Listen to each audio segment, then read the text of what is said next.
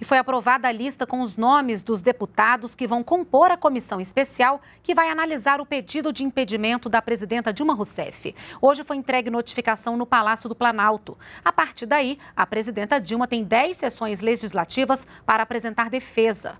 Depois, a comissão eleita na Câmara deve emitir um parecer sobre a denúncia, que será encaminhada para o plenário da Casa. De acordo com o Supremo Tribunal Federal, mesmo que dois terços dos, dois terços dos deputados aprovem a abertura abertura do processo, a presidenta Dilma Rousseff não poderá ser afastada automaticamente do cargo.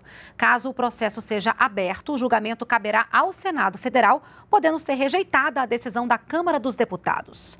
Hoje à tarde, o líder do governo na Câmara, deputado José Guimarães, disse que vai apresentar dois nomes à comissão, um para presidir e outro como relator do processo. São eles os deputados Rogério Rosso, do PSD, e Jovair Arantes, do PTB.